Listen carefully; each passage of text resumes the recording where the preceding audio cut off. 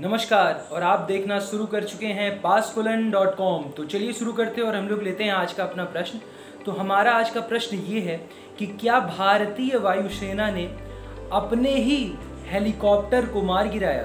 तो देखिए हमको और आपको सबको भी पता है कि 26 फरवरी का वो दिन था जब भारत ने पाकिस्तान पर एयर स्ट्राइक किया था। इसके जवाबी हमले में कि जब पाकिस्तानियों ने हमारे सीआरपीएफ के काफिले को उड़ाया था, जिसमें हमारे बहुत सारे जवान शहीद हो गए थे। और उस समय दो घटनाएँ हमारे सामने थी। पहली घटना तो ये थी कि हमें सबको याद है कि 26 फरवरी को भारतीय वायुसेना ने घुसपैठ करके पाकिस्तान के अंदर जाके बालाकोट में वहाँ पे बम गिराए थे और बहुत सारे आतंकी मार, मारे गए थे उसमें। लेकिन एक और घटना थी जो अगले दिन हुआ था, यानी कि 27 फरवरी के दिन। 27 फरवरी के दिन आपको, हमको और हम बहुत सारे लोगों को एक चीज़ तो याद है, जिस दिन कैप अभिनंदन जी ने पाकिस्तान के एफ़ सिक्सटीन को मार गिराया था और फिर फिर वो पाकिस्तान द्वारा पकड़े गए थे। लेकिन एक दूसरी घटना भी थी उस समय, जो आपको, हमको शायद इस समय नहीं याद है और हम सभी लोग भूल चुके हैं।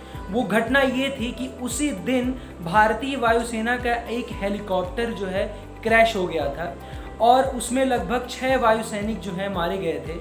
और वो घटना जो थी, हम सबके बिल्कुल सोच के परे थी कि ऐसा क्या हो गया। बहुत सारे हम में से लोग और बहुत सारे मीडिया वाले लोग ये कहने लग गए थे कि शायद पाकिस्तान ने ही इनको मार गिराया है।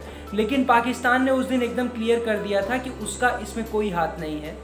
तो जैसा कि होता है हमेशा एयरफोर्स ने फिर अपनी कोर्ट ऑफ़ इंक्वायरी बिठाई।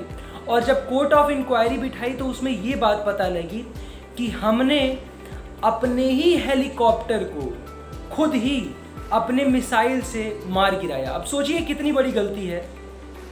तो हुआ कुछ यूँ था कि जो हमारे उस समय कमांडिंग ऑफिसर थे, उस समय ग्रुप कैप्टन जो थे, उसके इंचार्ज जो थे तो जब उन्होंने जब देखा कि कोई हेलीकॉप्टर जा रहा है तो उनको ये लगा कि हो सकता है ये कोई अनमैंड वहीकिल हो। अनमैंड वहीकिल का मतलब ये होता है कि एक ऐसा रोबोट या एक ऐसा प्लेन जिसको कोई इंसान नहीं चला रहा हो।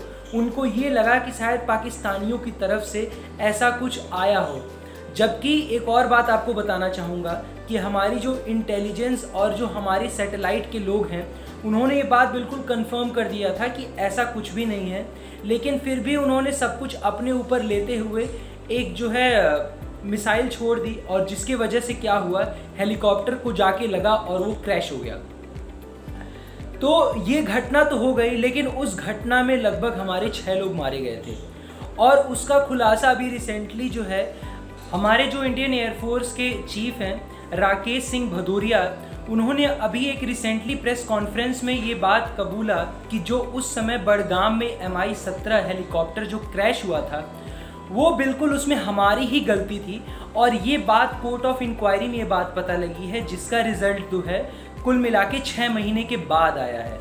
तो ये एक तरीके से इंडियन एयरफोर्स का हम लोग दूसरा साइड भी हम कह सकते हैं कि ये हमारी एक तरह से फेलियर थी कि हमने अपने ही हेलीकॉप्टर को मार गिराया। अब देखिए, अब जिन लोगों से ये गलती हुई है, उनके लिए दो तरीके की सज़ा हो सकती है। पहली सज़ा तो ये है कि हो सकता है उनको जो है सर्विस से टर्मिनेट कर दिया जाए।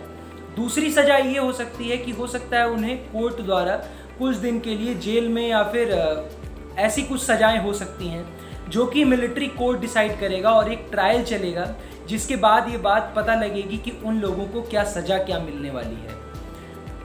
तो अगर आप ये वीडियो जो है फेसबुक पर देख रहे हैं तो लाइक कीजिए। अगर आप ये वीडियो यूट्यूब पे देख रहे हैं तो सब्सक्राइब कीजिए और बेल वाली घंटी दबाना बिल्कुल मत भूलिएगा। और ऐसे ही और प्रश्न और उत्तर पाने के लिए आप प्ले स्टोर से पासकोलन ऐप को डाउनलोड ज़रूर करिए, जिसका लिंक यहाँ नीचे डिस्क्रिप्शन में दिया गया है। धन्यवाद।